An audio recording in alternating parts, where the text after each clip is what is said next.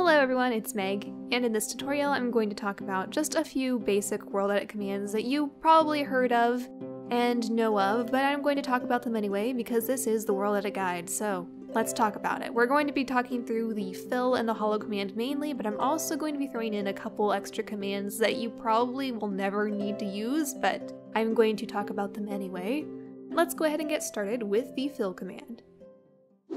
The fill command does exactly what you might think. It will fill in a gap of some sort. So here I'm going to fill in where this yellow box and this blue box intersect. If I want to fill it up to the top of the yellow box, you're going to want to make sure that you're standing one block below where you want it filled. Because when you use the command fill, the blocks will generate on the same level that you're standing. So I'm just going to put a block here in the corner just because so, it's easier to place it there, and I want to make sure I'm standing one block below the surface I need to fill in. Now just do the command fill with your block ID and a radius. Of course, if you can't tell, a radius means it will always be a circle shape. And you can see it didn't quite fill it in with that because it wasn't large enough. So let's try that again. Let's undo this and try it again. This time we'll make the radius much larger, much larger than it even needs to be, and it will be enough to fill in the rest of it. Now in our green square, we're going to fill this in again, but this time with some depth. So just like all commands, we'll have the ID, the radius, and the height in our command. And you can see how it is filling it in, and it's going up to that point, and it's going down that many blocks. But you can see there's some blocks on the edge here that aren't going straight down from the edge, and that's because it's actually filling in the shape of a half sphere. And I can come over here to demonstrate this. So I'm just going to run the fill command with a stone block, and we're just going to make it a 10 block radius and 10 blocks high, and you can see all it did was create the bottom half of a sphere.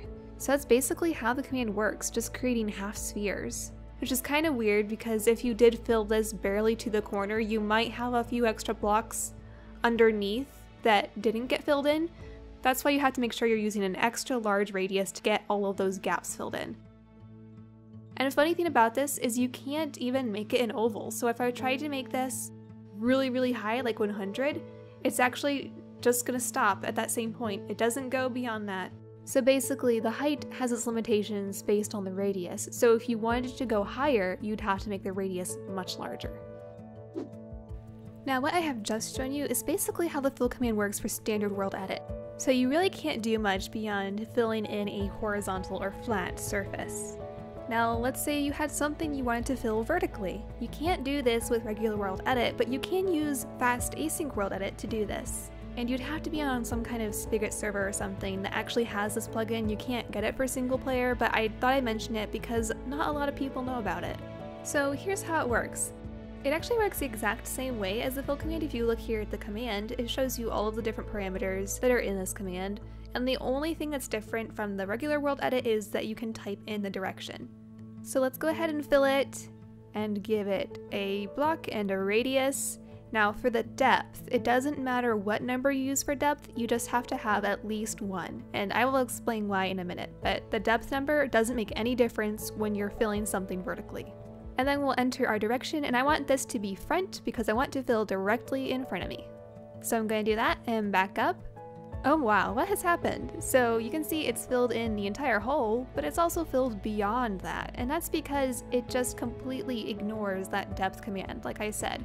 It will stop if there's a boundary, but if there isn't, it's just going to keep going and fill in all of those air blocks. And you can do this fill command in any direction. It could be front, back, left, right, up, or down. So let me just fill this again with another depth of 1. And see, that worked when I filled it in on the right. But of course, the depth is still going to be a problem. Pretty much the only way you can fix that is if you already have a back to your surface which isn't very practical because what's the point of filling it in vertically if you're going to have to fill in the back to begin with? But anyway, let's go ahead and fill this left. Let's make the radius big enough to fill this entire thing. And you can see that this works because it's getting blocked by all of those surrounding blocks, so it's got nowhere else to go.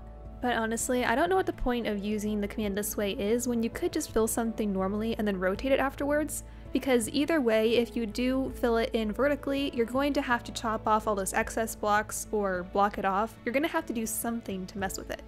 Anyway, whether you use it or not, at least now you know that it exists. You're welcome. Now I'm going to talk about a few commands that are kind of related to the fill command. Not exactly, but since this is the World Edit Guide, I thought I'd go ahead and mention them in this video. So let's say you had a body of water such as this. I would see this command being most useful where you're actually working on an actual Minecraft world as opposed to creative building, but we're going to mention this anyway. But you can very easily clear the water out by using the command drain with a radius. And you can pretty much just look at this and see what it's doing. It's just draining it in the shape of a sphere once again. Now, it's important to note that you have to be on the same level as the water for it to work, so it won't work if I'm standing above the water at all. But I do need to be either in the water or directly next to the water as long as I'm on the same level. Now on this server there is zero tick speed so this water is just going to stay where it is but if you are doing this on an actual world the water is probably going to be filling in and flowing all over the place. If you ever need to correct the water to where it's all level and stationary again, or if you ever just wanted to fill this in again with water, there is the command fix water that we can use to do that. So that will be fix water with a radius again. Oh, it didn't work there because I wasn't directly next to the water, so let's come over next to the water and try again. Okay, so that worked. So that's kind of like how drain is too, where you have to actually be next to it or in the water for it to work. I don't know why they have this command because you technically could do the same thing with the fill command, but it does have two main differences. Number one being that it automatically puts in the height for you, and number two being you can just be standing next to the water as opposed to being required to stand in it, if you know what I'm saying. If I were to use the fill command, I would have to actually be in the water to use it, whereas with this, I can just stand right next to it. I should also mention that those same commands also work for lava, so we could also use drain to drain the lava, but to fix it, it's just going to be the opposite of fix water, which will be fix lava. So just wanted to point that out that there are two separate commands for those. Anyway, those are just a couple extra basic commands. I'm sure you've heard about them, but I just want to mention them because they are kind of indirectly related to the fill command. The last command I'm going to show you is the hollow command, which does the exact opposite of filling, it hollows out a build. So you're going to want to make a selection around whatever it is you want hollowed, and then it's really simple, we're just going to do the command hollow. Now by default, this command will delete everything inside the build, leaving a one block thickness around the outside edge. I don't know if you noticed how the lighting kind of changed when I did that, because the shadows are falling differently, but we can also take a peek inside and see that yes, all those blocks are gone. Magic. The only time where this would not work properly is when you have stairs or slabs on the outside and it will register as a full block, but it's deleting the block behind it. So it's going to leave holes if you have a stair or a slab on the outside. To fix this, all we have to do is change the thickness that we're hollowing this out. So if I add a number behind it, such as hollow 2, that's going to leave a thickness of 2 blocks on the outside. And I'm sure you can make the thickness whatever you want, but the point of hollowing is to make it hollow, so I would say 2 or 3 is generally what you're going to be doing. I don't use this command too too often, but I did want to mention it in case you weren't familiar with it, and it kind of coincides with the fill command, so it fits perfectly in this video. That's all I have for this tutorial. If you'd like to learn more about these commands, I know I've basically covered everything about them, but if you did want to learn more commands on your own, I will leave a link in the description to a wiki page that's very, very helpful. Or if you're more of a visual learner, I do have some more World Edit tutorials that you can also check out. But until next time, happy building guys! I'll see you later.